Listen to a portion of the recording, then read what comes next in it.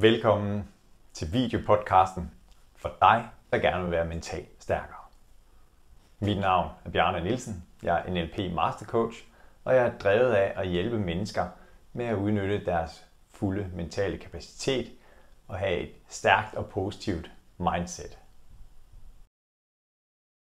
So we have this question from uh, Nishan, who would like to know how did you develop the mindset to becoming a world champion and how to be prepared to become Olympian participant?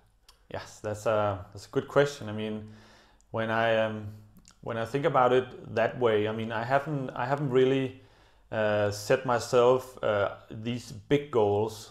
Um, I haven't made a battle plan for becoming a world champion.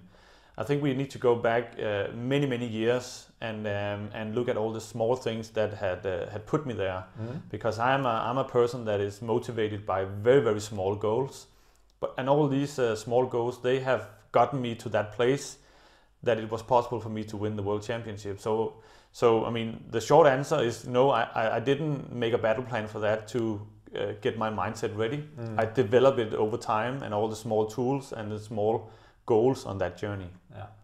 And especially the daily goals. By the end of the day, you could say, yes, I made this or I reached this. Point. Yes, exactly, and it, it's it's so much more for me to have um, these small successes uh, instead of waiting two years Yeah. to have that feeling. I want that feeling today or in a week. Then it will boost my uh, motivation and the energy that it gives me to move on and to v- develop even more. Great.